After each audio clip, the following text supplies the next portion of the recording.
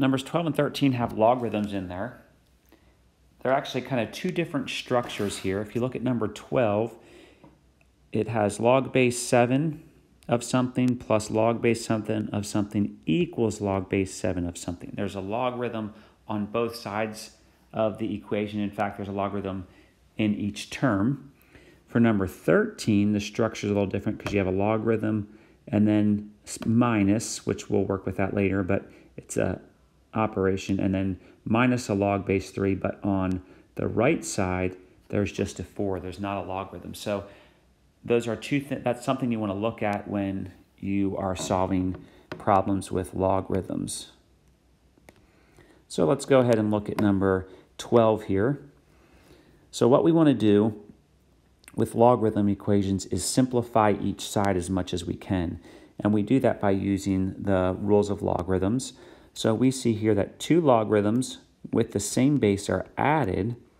We can use the product rule, uh, which we could then write log base 7 of, and we can multiply these, these two arguments. So log base 7 of 2 times x squared plus 7.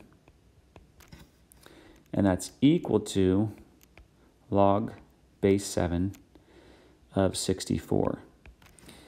And what we can think here is we have log base 7 of some value equals log base 7 of some value over here. Well, those two values have to be equal to each other because it's both log base 7. And so we can write we want to figure out what that is, so we can just have 2 times x squared plus 7 is equal to 64. And then we'll go ahead and solve this. We can distribute the 2, or we could divide both sides by 2. Uh, it doesn't really matter. Let's distribute in this case. So 2x squared plus 14 equals 64. We'll go ahead and subtract 14 from both sides. We can do that in our head. So we have 2x squared. 64 minus 14 is 50. Divide both sides by 2. We get x squared equals 25. And we take the square root of both sides. Don't forget plus or minus. So x equals plus or minus 5. We need to make sure we don't take the logarithm of a negative. So we check to see if our positive and negative 5 work for x, and they will, because they're squared on both of them. So our answer is plus or minus 5. Moving to number 13, this is the one with a different structure. We actually have a constant over here on the right side. We still start off similarly where we simplify the left side into one term. So this is subtraction. So our, we'll use the uh, quotient rule. We know that if we have subtraction of logarithms with the same base, we can do log base 3 of x squared minus 9 over 7. That's equal to 4. And now we don't have a logarithm on both sides, so what we do is we convert to exponential form.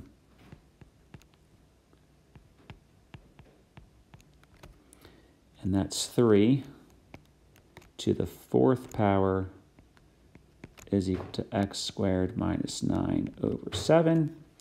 And we'll finish solving this. 3 to the fourth is 81 equals x squared minus 9 over 7. To get rid of that 7, we would multiply both sides by 7.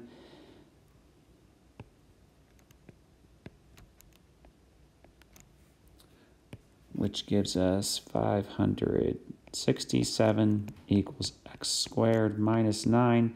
Go ahead and add 9 to both sides. Adding 9 to both sides would give us 576.